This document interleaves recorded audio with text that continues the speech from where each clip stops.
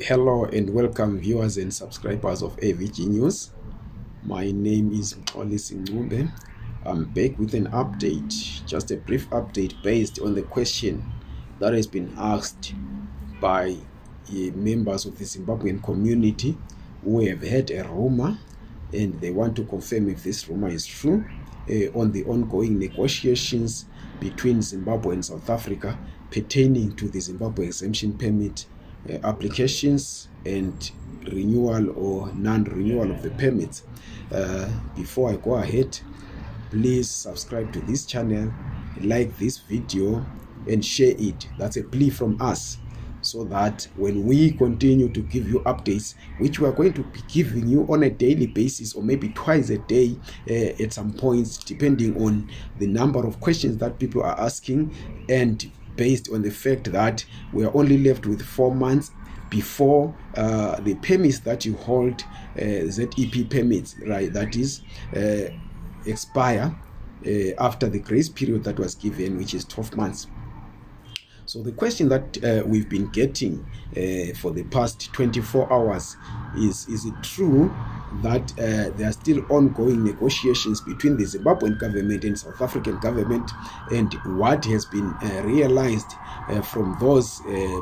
ongoing negotiations yes uh, from what we are getting uh, as journalists is that uh, the zimbabwean government back home has confirmed and some uh, insiders within the south african government have also confirmed that there are indeed uh, ongoing negotiations and they are saying that the negotiations did not stop. They've been going on at party to party level between zanu pf and, and uh, anc and also between government uh, uh, and government that is zimbabwean government and the south african government. So there is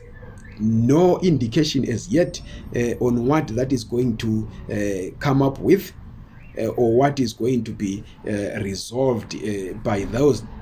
talks. But we are hoping that at the end of the day whatever is going to be agreed will be mutually beneficial to both countries because we know that uh, South Africa and Zimbabwe share a border, we know that they share a history, and it is imperative for that history to be maintained. It is imperative for that uh, relationship to be maintained, but also it cannot be maintained uh, at the expense uh, of the citizens of either of the two countries. We know that South Africa has got its own problems, Zimbabwe has got its own problems, but at the end of the day, our wish is that when all is said and done, Zimbabweans will be able to live happily in their own country, and South Africans will be lived uh, happy to live. I mean, will be able to live happily in their own country, but also that interactions between the two nations will continue interactions between citizens of the two nations will continue and that uh, travel will be in a controlled manner uh, be uh,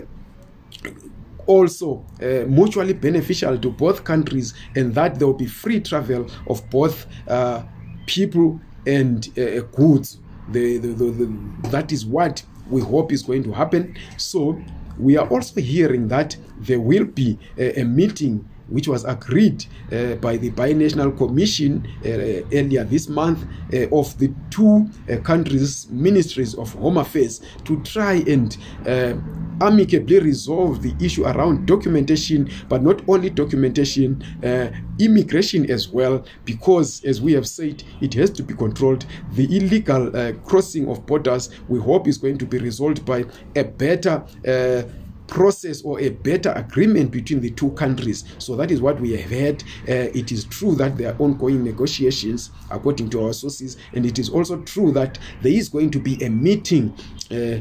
sometime in october that will be two months before the expiry of the zimbabwe exemption permit and we hope that at the end of the day whatever is going to be resolved resolved will be for the mutual benefit of both uh, states and also both citizenry. Thank you very much